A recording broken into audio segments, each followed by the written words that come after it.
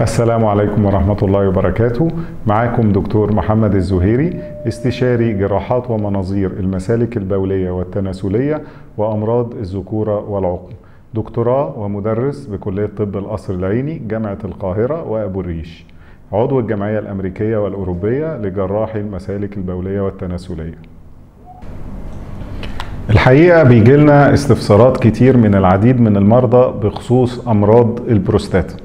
أمراض البروستاتا قد تصيب صغار السن وقد تصيب كبار السن. بالنسبة لصغار السن بنسميها احتقان في البروستاتا. بتؤثر على اندفاع أثناء الاندفاع أثناء عملية التبول وممكن إن هي كمان تعمل إن المريض يحتاج إن هو يروح الحمام ويرجع كذا مرة. دي. بتكون تسببت في حاجة اسمها مثانه متهيجة. طبعا ممكن إن يكون معاها حرقان أثناء عملية التبول وبيكون بسبب إن حصل التهاب في البروستاتا.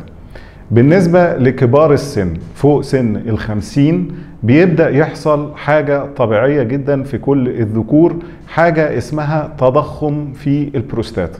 برضو بتبدأ تأثر على عملية التبول واندفاع البول نفسه وبرضو المريض ممكن إن هو يحتاج إن هو يروح الحمام كذا مرة.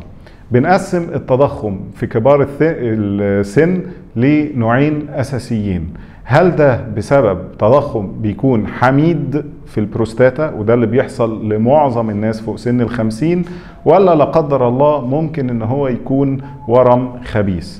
بنقدر طبعا نعرف أو نفرق بين النوعين دول عن طريق الكشف على المريض وعن طريق بعض الفحوصات اللي بيطلبها الطبيب المتخصص. منها حاجة اسمها دلالات أورام البروستاتا اللي بتعرفنا الفرق ما بين التضخم ده يكون حميد ولا ورم خبيث لأن ساعتها بيفرق طرق العلاج من حيث نوع التضخم. التضخم الحميد بيعوز إن المريض ياخد أدوية تساعده على عملية التبول بشكل طبيعي. في بعض الأدوية اللي بتأثر على البروستاتا وعنق المثانة فتخلي عملية التبول أسهل. وبعض الأدوية تانية بتشتغل على إنها تصغر حجم البروستاتا.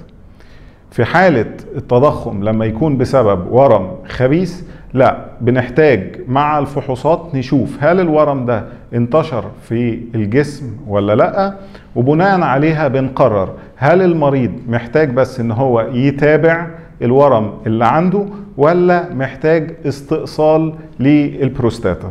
وساعتها بيكون طبعا الاستئصال ده اسمه استئصال جذري للورم الخبيث اللي في البروستاتا. بالنسبة للتضخم الحميد لو العلاجات ما ساعدتش المريض بنجرب طبعا أنواع كتير من الأدوية لو العلاجات ما ساعدتش المريض في عملية التبول بصورة طبيعية أو الطبيعة اللي كان هو عليها أو إن المريض لسه بيشتكي بيبقى في عمليات لاستئصال التضخم الحميد اللي هو بتاع البروستاتا دوت بس مش لازم يبقى جذري زي الأورام الخبيثة. معظم العمليات دلوقتي ما بقتش تتعمل جراحة بقت بتتعمل باستخدام المناظير وفي أنواع كتير من المناظير بناء على حالة المريض الصحية وعلى حسب حجم البروستاتا